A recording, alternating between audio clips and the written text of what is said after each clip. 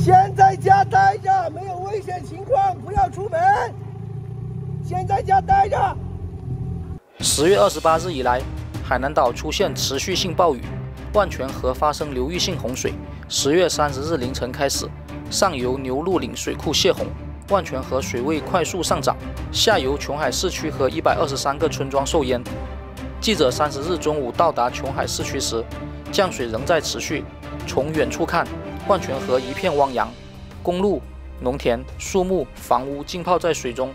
横跨万泉河的加吉大桥下，洪水已涌上堤岸，不断流进城市。在市区主干道银海路，积水严重导致车辆难以通行，多艘救援橡皮艇穿梭转运受困民众。马路两旁的店铺大门紧闭。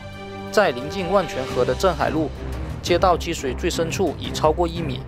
一些汽车被淹在水中，无法驶离，正在等待吊车转移。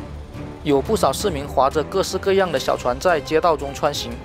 突如其来的积水给当地居民带来诸多不便。今年比十一年前还那个水还要大。这水从什么时候涨上来的？呃，十一点半这样吧。您您这个这个措施什么时候开始？呃，刚开始就开始做了，早早就开始做了。这我们也是走一步算一步了，只能这样子了。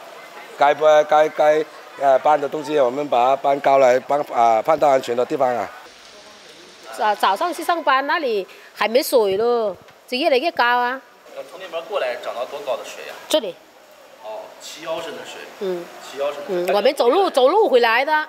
记者从海南省应急管理厅了解到，此轮强降雨，琼海市按照2013年和2010年最高淹水情况安排转移民众，截至当天中午已转移7168人。三十日下午。搭载着救援力量和物资的直升飞机接连在琼海境内起降。